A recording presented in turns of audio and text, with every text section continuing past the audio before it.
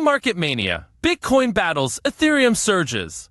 Hey, what is going on, guys? My name is Andrew, and welcome to the BitsPuls YouTube channel. Let's dive into the latest cryptocurrency market news. Bitcoin is struggling at $67,688 with a slight upward trend.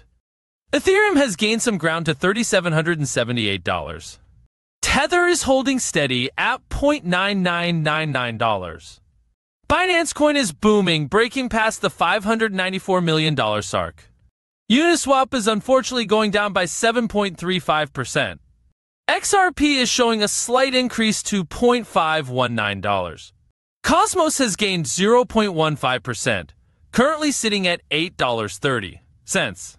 Bitcoin Cash is down 2.16% to $456.81.